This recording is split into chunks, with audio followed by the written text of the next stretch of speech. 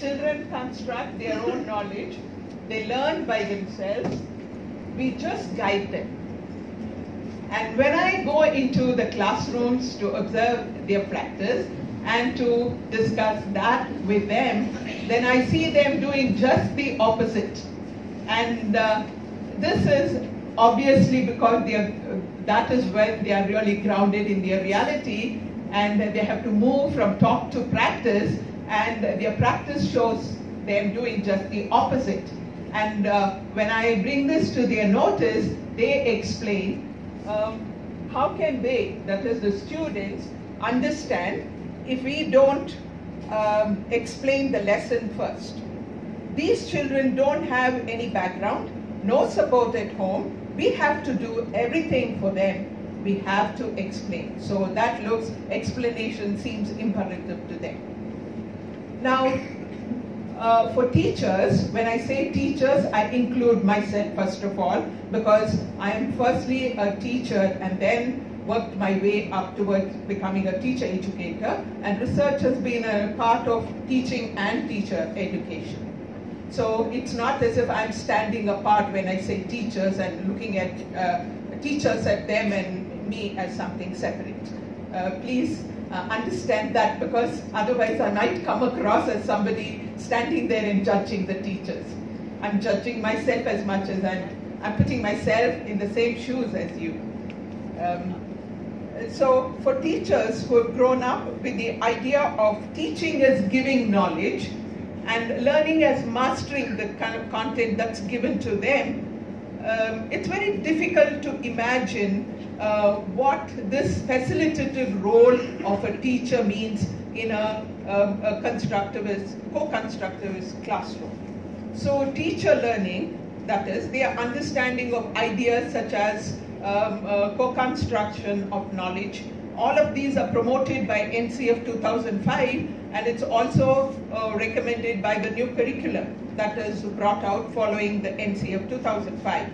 And uh, so these ideas like uh, learner as a co-constructor co of knowledge and teacher as a facilitator. These seem to operate at uh, the level of word. It's very similar to the surface learning that, stay, that takes place in the classroom. now, these assumptions that teachers hold of uh, teaching as transmission of knowledge is uh, also encouraged by the institutional context where learning is seen as uh, learning of the word. It is the learning, uh, the indication of learning is word and teachers are held responsible for student learning and uh, their professional competency is measured according to uh, the performance of the students in the uh, uh classroom, in the exams. if you look at this uh, clip, you will understand the Damocles sword that is hanging on the teacher's head. It says,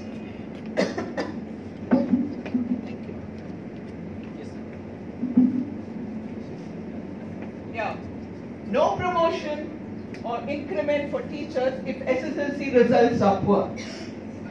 So it's not surprising then that teachers resort to rote practices to help their students move toward the end point without traveling, as Dr. Prabhu would say. Now, this kind of mindless learning of words, um, the social psychologist Vygotsky's, these are his observations, and I think very uh, uh, perceptive observations made by him, that these mindless uh, learning of words is uh, not going to really help students because it turns out to be inadequate in any meaningful application. So, this could well be the reason why we have students in college, pre-university and even in tertiary level um, who teachers say cannot construct a simple sentence in English. Now, students seem to get by with um, uh, a kind of inflated grades rather than um, their own earning it. And uh, in spite of this concession given to the students, many students fail in English and uh, these students have to bear the shame and the blame for it. And this is a very sad state of affair. And uh,